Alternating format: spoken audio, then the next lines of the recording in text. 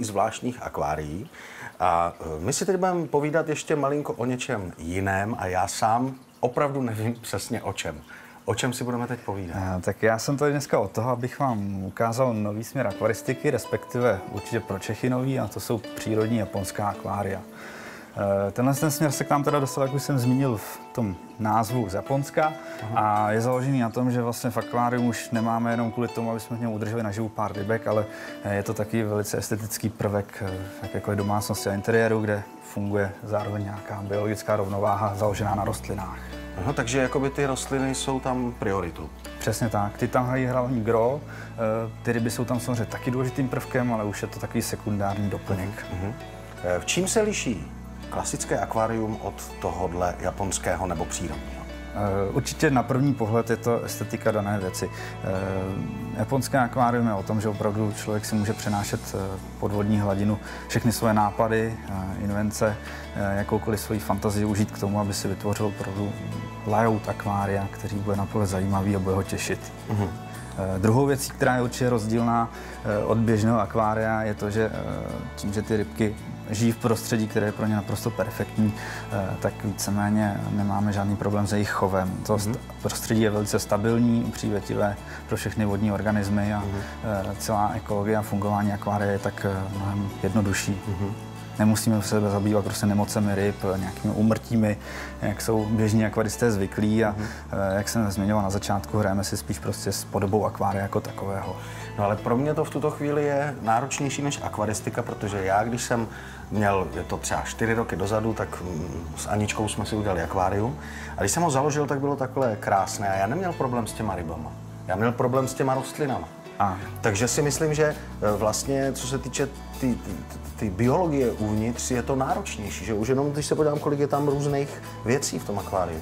Tak eh, samozřejmě, aby to akvárium fungovalo, eh, je potřeba mít vždycky nějak technicky vybavené. Ten základ je neměný, když tam prostě nebude ta kvalitní stránka techniky, tak nemůžeme očekávat, že nám ten ekosystém toho akvária bude bezvadně fungovat. Mhm. To je dané tím, že akvárium na rozdíl od přírody funguje v omezeném objemu vody, omezeném, omezeném toku energií a živin, které tam máme k dispozici. Příroda je v tomhle jsou trošku jednodušší, má mnohem větší sílu, takže my musíme přeci jen trošku více dbát na to, aby jsme ty podmínky udrželi stabilní a uh-huh. k tomu nám dopomáhá právě ta technika kolem akvária. Uh-huh. Neobejdeme se bez několika základních eh, technických vymožeností. Eh, když to vemu tedy po pořadě, osvětlení alfa omega, kvalitní světlo by dneska už mělo být teda eh, v podobě nějakých LED osvětlení. Druhým faktorem je filtrace. Mnoho z vás asi zná z malých akvárií klasické malé filtry přímo v nádržích. Mm-hmm. My je zde nepoužíváme, zaprvé nám zabírají místo, není to esteticky zrovna hodnotná záležitost, navíc nesplňují vlastně výkonově ty naše požadavky. Tím, že my potřebujeme stabilizovat biologii akvária, tak používáme externí filtry, kdy pracujeme s velkým objemem filtrační hmoty, ve kterém žijí miliony bakterií, které nám zase do, dopomáhají rozkládat odpadní látky, které mm-hmm. tvoří ryby nebo všichni živočichové v té nádrži.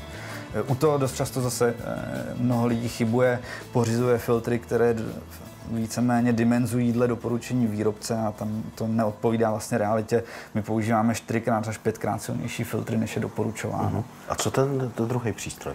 A když se budeme bavit o tom táme, tak uh, princip je takový, že vlastně uh, rozštěpené molekuly vody, které se nám dělí na vodík a kyslík, tak uh, využíváme hlavně ten kyslík, který je v tu chvíli chemicky aktivní v vodě a mhm. sráží nám drobné částice. Tím pádem voda je na pohled čistší, degradují různé druhy řáz, zvyšuje se nám redoxní potenciál vody a uh-huh. tím vlastně celé akvárium dostává zdravější podobu nebo parametry v té vodě. Tam vzadu u vás to je filtr, to už vím, ale tady u mě něco bublá já nevím, co to je. Co to je? Tam nám bublá vody oxid uhličitý, eh, což je teda alfa omega fungování toho rostlinného akvária, protože my se dostáváme v tom omezeném objemu živin a energií do takové svízelné situace, kdy ta obrovská zelená masa rostlin potřebuje spoustu uhlíku k tomu svému růstu, to je ten základní stavební kámen. A v běžném akváriu, vlastně, kde je pár rostlin, tak eh, ten přirozený obsah eh, toho oxidu uhličitého stačí. V tomhle tom případě, aby jsme zajistili dostatečný průběh fotosyntézy a nezvyšil se nám vlastně kyselost vody, pH, tak dodáváme oxid uhličitý, který nám tyhle ty parametry rovná. Hmm. Je to dobrý sluha, lezlý pán, jelikož už z principu, jak někdo tuší, kdyby jsme jinde chtěli dýchat jenom oxid uhličitý, tak se brzo všichni udusíme. Stejně tak to funguje v akváriu, takže to řídíme zase přesnými redukčními sety, které nám zase dávkují množství toho oxidu tak, jak je potřeba. Trochu se děsím. Jak se starat o takové akvárium? Eh, nemusíte se ani moc děsit. Eh, pokud vás to opravdu bude trošku bavit, eh, tak je to jednoduchý úkon. V praxi základní potřeba akvária, kterou musíte vždycky udělat, je pravidelná výměna části vody. Jedná se o třetinu až polovinu objemu akvária, kterou musíte týdně vyměnit. Není to nic složitého, stačí si natáhnout hadici do odpadu, vodu vypustit a zase posléze zpátky z vodou vodu napustit. Aha, takže takový, takový ten zvon, co se vysává to dno, to už dneska se Ten nepoužívá. už dneska více nepoužíváme, protože díky těm substrátům a té silné biologické stránce toho akvária se tvoří vlastně mnohem méně eh, těch odpadních látek, které zůstávají ve dně nebo substrátu a pobírá to spíš ten filtr. Takže mm. také to hloubkové odkalování dneska už není vlastně aktuální a jde spíš o takovou jemnou péči a hlavně tu výměnu vody. Eh, tak výměna vody, tak. To, to si myslím, že bych ji zvládl. To no, asi ale zná teď každý. Tak. se podívám dívám na ten stůl a první, co znám a asi bych použil, jsou klasické nůžky. No a já bych řekl, že to úplně špatně. I zahradník nepřijde eh, na ovocný strom s příbrovým nožem. Ano.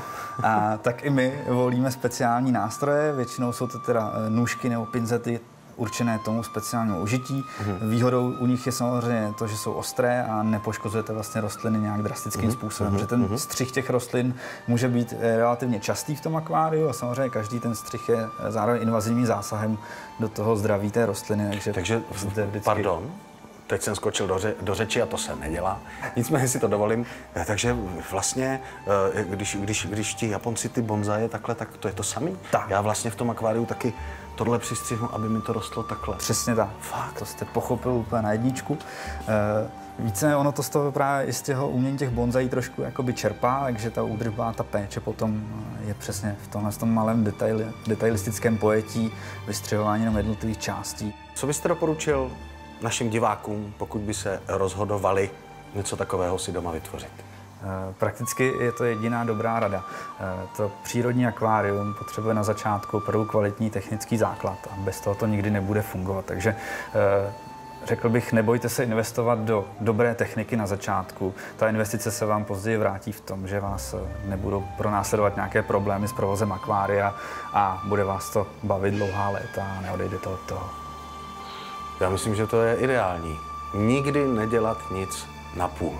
Mějte se hezky a těším se příště. Naschledanou. Příště uvidíte.